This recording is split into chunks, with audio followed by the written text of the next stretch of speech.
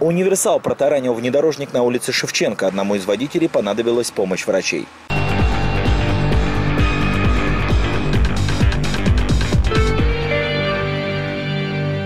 По улице Шевченко со стороны Маковского движется автомобиль Nissan AD. За рулем универсала пожилой мужчина. Он возвращается с работы домой.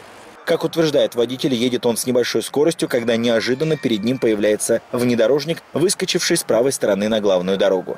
В такой ситуации столкновение становится неизбежным. Солнце в глаза, но я практически не нарушал. Я нормально ехал, где-то, ну, может, 60-70, такие, как и положено ехал.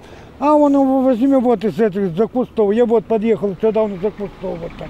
Мне, ну куда мне деваться? Э, И здесь машина идет. Если я выскочу сюда навстречу, сделаю аварию, значит я виноват буду тогда. Ну и мне не, не нечего. Я по тормозам, правда, нажал, а толку? То все равно мне юзом на него нанесло он меня. К месту дорожно-транспортного происшествия вызывают скорую помощь. Врачи осматривают пострадавшего в аварии водителя универсала. Пожилого мужчину отвозят в больницу, где ему оказывают медицинскую помощь. После чего водитель возвращается к месту аварии. Рулевой внедорожника отделался легким испугом. Его описание случившегося несколько отличается. Поворачиваю сюда, две машины идут. Я этих пропускаю. Начинаю выезд с этого. Внезапно вижу машину. Вот. Ну все, я вижу, я где-то за 50 метров я ее увидел. У него тормозной путь более 30 метров.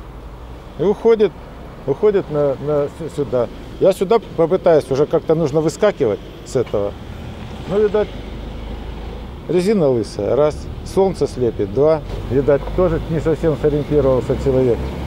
Ну и вот он на встречке уже меня ударил. По мнению водителя Toyota Land Cruiser Prado, в случившемся стоит более внимательно разобраться работникам полиции. По словам аварийных специалистов, произошедшее следствие банальной невнимательности и несоблюдения правил дорожного движения.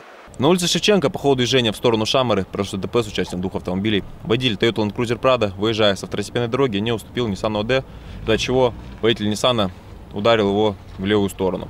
Из-за чего у Прадика повреждения несерьезные, у ОД в свою очередь повреждения очень значительные и покинет место ДТП ОД на эвакуаторе. Будет ли владелец универсала восстанавливать свою машину, пока неизвестно. Как признается мужчина, без машины ему будет очень сложно.